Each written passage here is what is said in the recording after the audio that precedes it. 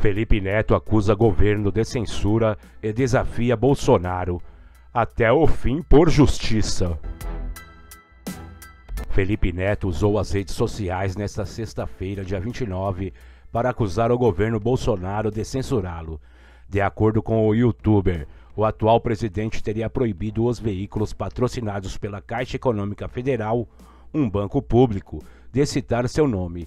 O influenciador avisou que procurou advogados. Até o fim por justiça. Resumiu.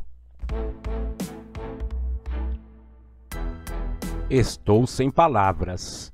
A Caixa, sob o comando bolsonarista, proibiu os veículos que recebem algum centavo de patrocínio da empresa de citarem meu nome.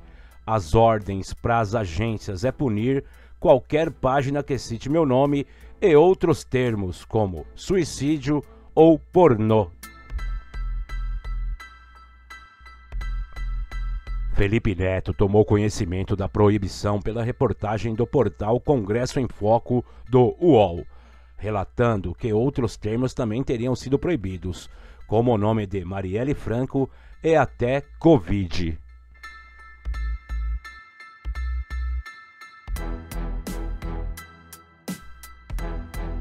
Por que o governo do Bolsonaro me dá tanta importância?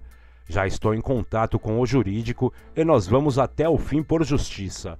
A Caixa Econômica Federal proibir agências e sites de citarem meu nome é um dos maiores absurdos que já lidei nessa vida.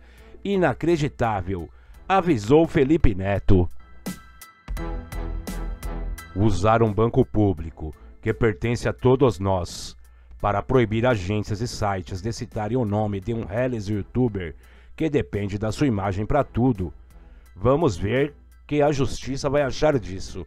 Família Bolsonaro.